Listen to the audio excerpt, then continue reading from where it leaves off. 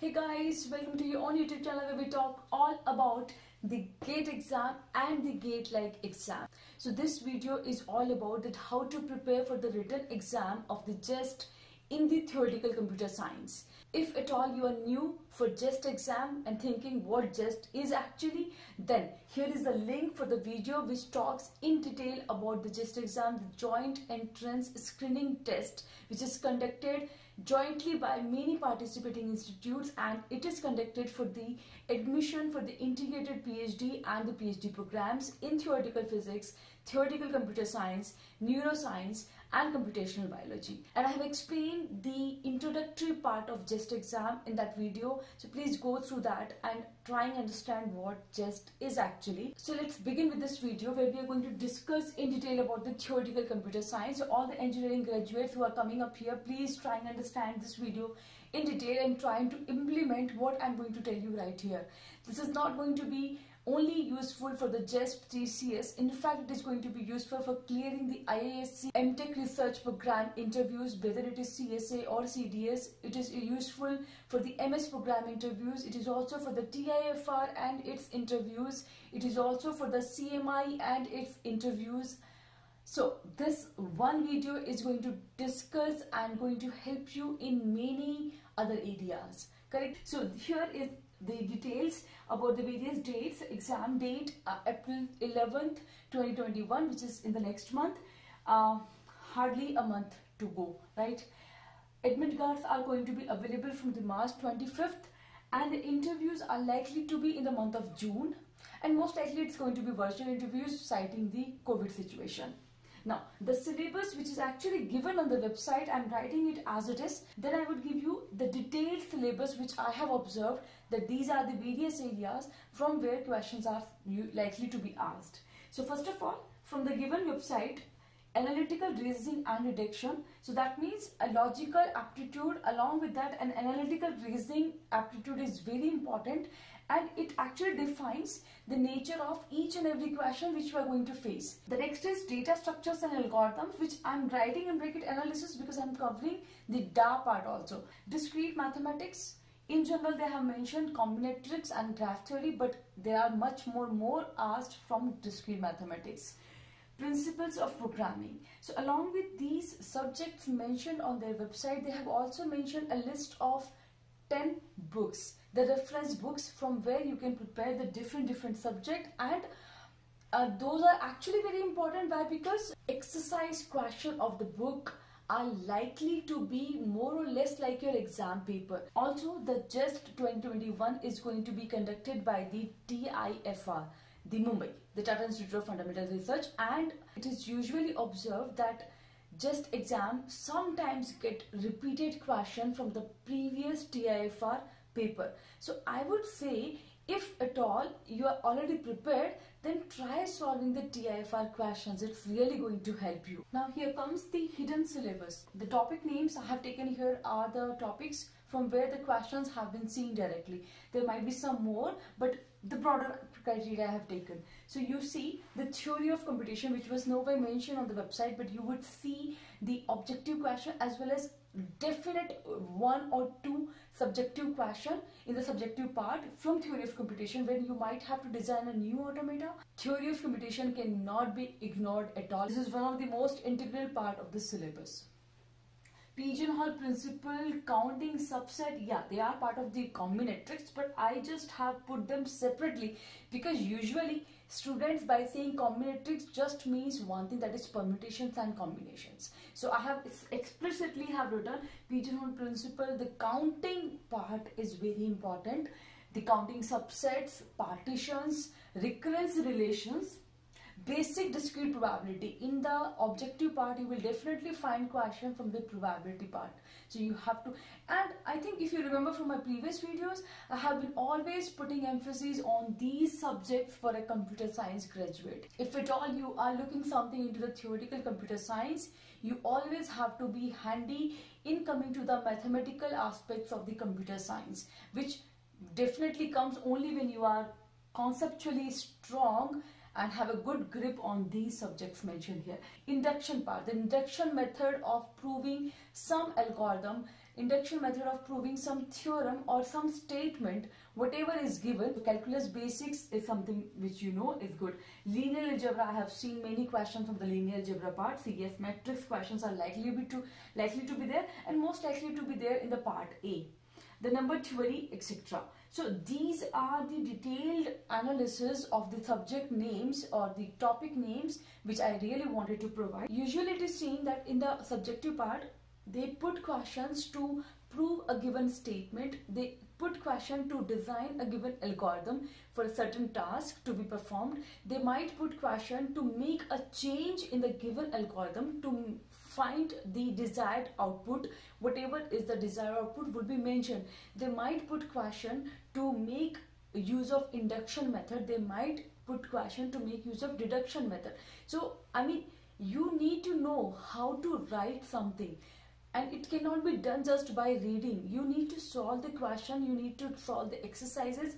In fact I mean, it's not about reading and learning, it's about practicing on writing. That is very important because you will not be having a whole lot of time. There is a limitation to the time and there is a limitation to the the power your brain will be working at that time. So if you are comfortable in making use of notations and that will happen only when you have done enough writing practice. I would suggest uh, when you are studying when you see in a chapter there is a proof for some uh, you know algorithm or for some theorem to get proved then write it as it is. I mean practice on your pen and paper.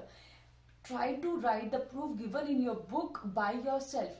Once by looking at it second time by understanding and thinking about it third time it will become a habit. If you do this five times for like five problems you are through with the notations you are through with the approach the steps you have to follow if you somebody might say that ma'am uh, what we have to practice like by looking at the book just as it is copy karna hai exactly मैं कह रही हूँ as it is copy करना है because you are trying to train your brain the machine that is there in your brain this is all about machine learning see if you remember from a childhood जब alphabets when you were trying to learn alphabets तो top line पे all A's like five times A लिखा है नीचे ten lines में just repeating A A A 10 cross 5 times. Correct.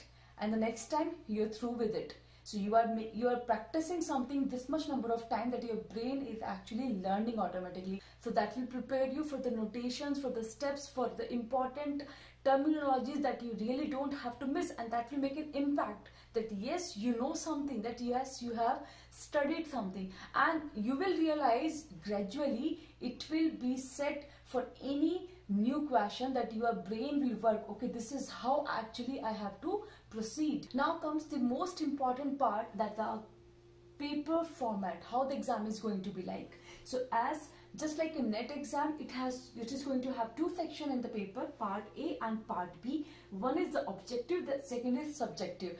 Once you clear the cutoff of the part A, then only your part B will be evaluated. So that is very important to know. Part B no matter how good you are writing answers in the part B, but if you have not attempted good number of questions, if you have not done the correct number of questions in the part A, your part B is not even seen by the examiner. So this is going to have the negative marking. The total paper is for 3 hours. The first part is given to you only for 75 minutes and there you are going to see 25 questions. Just It is more or less like the gate-like questions going from average to the tricky part. So it's not that you're going to see very easy question, but yes, you are going to find some average question, some difficult, some very difficult. But with your practice and because you have practiced enough for subjective part, you will be able to solve them if you have prepared really well. I would say attempt more questions in the part A to get the good rank and the good score, which doesn't simply mean that attempt anything randomly obviously you will attempt only the questions which you are sure about but you have to be little speedy. You have to be fast in thinking and calculations because this score will decide everything that whether your part B is going to be checked or not. Also the part A score gives you a rank right? And the part A score is eligible to apply for IISc MTech research programs there you don't need the part B score. You can apply there only with this part. So those who don't have intention to do PhD or integrated PhD from IMSC with part B score, they just have intention to clear this much part that they can do, uh, they can apply through the score to the IISc for MTech research programs or IIT Madras for MS program. For them, it is very important. I'm putting it again and again as an emphasis. For them, it is very important to score as much as possible in part A. Now, coming to the part B, which is going to be a subjective paper. So, um, out of the 180 minutes, 75 minutes are given for part A. The rest of the time is for the part B.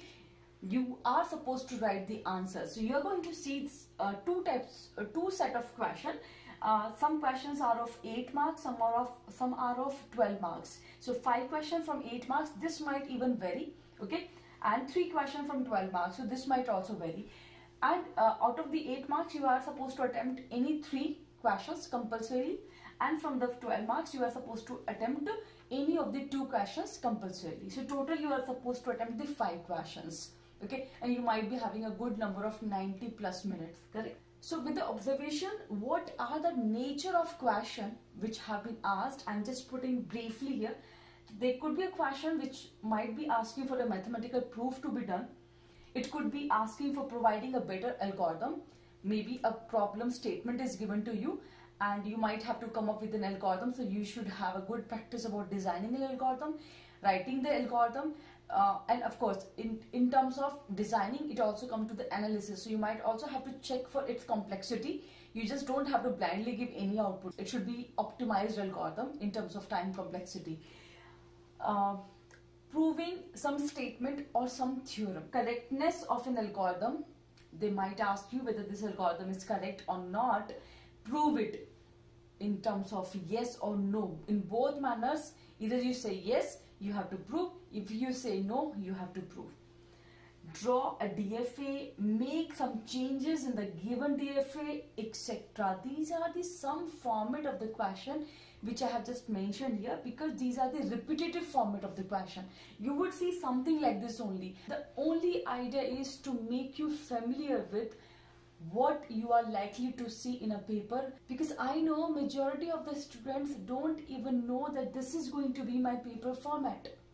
It is something which you will cherish forever if you sit for those three hours, if you are prepared and if you know I'm going to try my best, you will enjoy, you would cherish it forever that I am happy that I wrote this exam at least once in my lifetime no matter I clear it or I don't clear it. Mark my words. That is why I'm saying that the revision and the practice for each and every subject, for each and every mode of question is very, very important. Those who are writing JEST, it's a humble request, please don't go just like that. Yes, you will enjoy the questions, but you should be enjoying writing their answers. Furthermore, I can say is make a timetable for every day and sit for a good number of hours, give a number of hours to each and every subject, take their books, make the notes write i mean without pen and paper without practice without writing without the practice of machine learning to your brain you cannot clear it. The complete information given in this video is very important not only for you but for your colleagues your friends and for your batchmates. So please please please do share this video with your friends. They can gain a lot of knowledge and i'm saying again and again it is not only for the JEST exam this is also for the IISc interview preparation this is for the IIT Bombay research program preparation MS program preparation for all of those who are citing such admissions you need to follow this. All right as i have said enough